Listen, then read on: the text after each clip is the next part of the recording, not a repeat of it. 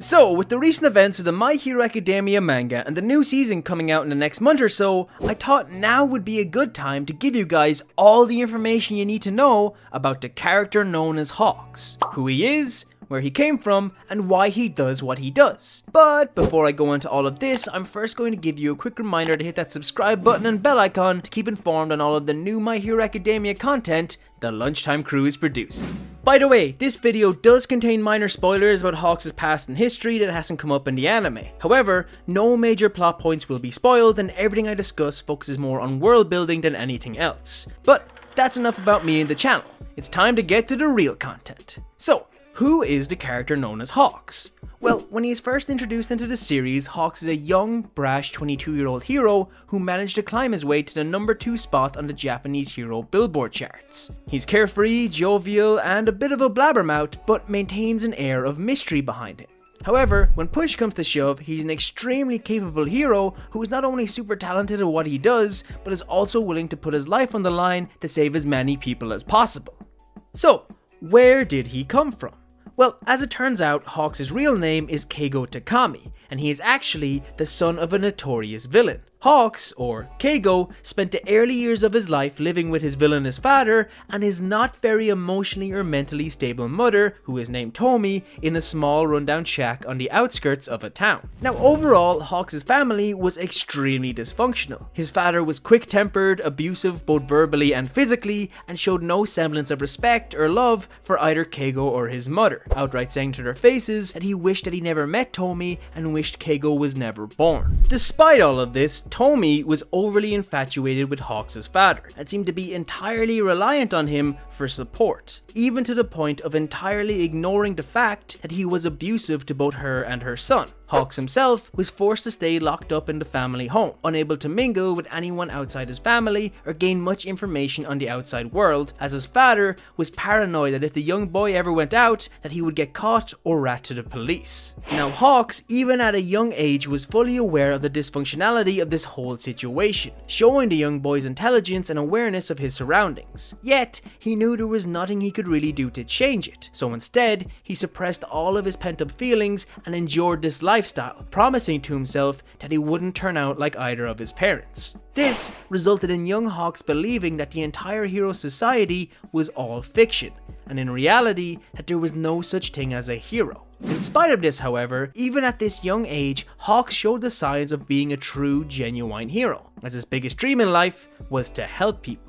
So when there was any trouble in the nearby town, he would instinctively fly towards it and help out in any way he could. But this sort of action really didn't go down well with his father. However, this entire family dynamic and Hawks' view on hero society as fiction would all be changed, as one day Hawks' villainous father was caught and arrested by none other than Endeavor. Now at the time, Tomi went into a complete panic state, as she was terrified she would be charged with the harboring of a criminal, so she took her son and ran away from their home. But for Hawks, it was his abusive and evil father finally being arrested that had opened up his eyes to the reality of the world of heroes. Heroes were no longer just fiction.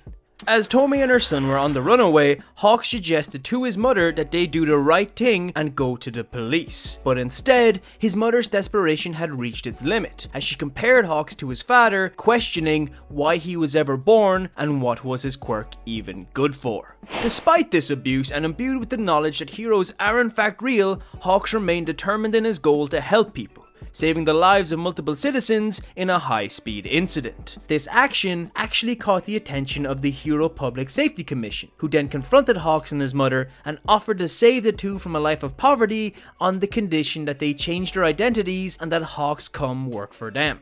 Of course, the two accepted this deal. However, for Hawks this proposition meant much more than just working for the Hero Safety Commission. In his eyes, accepting this offer meant two very important things the first of which was a separation from his family and his old life.